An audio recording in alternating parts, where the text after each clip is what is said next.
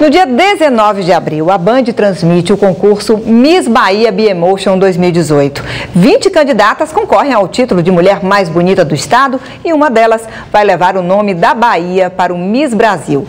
Nem todo mundo deve se lembrar, mas a Bahia já chegou bem mais longe. Uma baiana não só conseguiu a coroa de Miss Brasil, como também a de Miss Universo. O ano era 1968. O maior concurso de beleza do mundo acontecia em Miami Beach. E a baiana Marta Vasconcelos foi eleita a Miss Universo. The first runner-up is Miss Curacao and Miss Universe.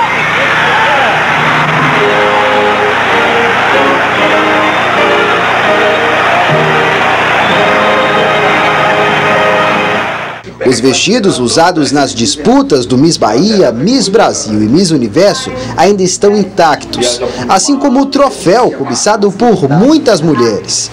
A baiana foi capa de revistas e ficou mundialmente conhecida.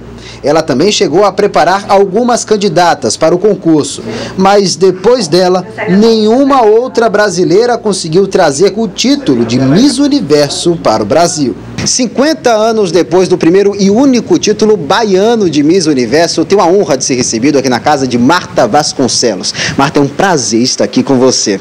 Já são 50 anos desde que você recebeu essa faixa aqui. O que é que vem na memória quando você olha para ela? Rapaz, foi uma experiência de vida extremamente gratificante. Tipo assim, eu, Salvador é uma cidade pequena, de um milhão e meio de habitantes, talvez naquela época.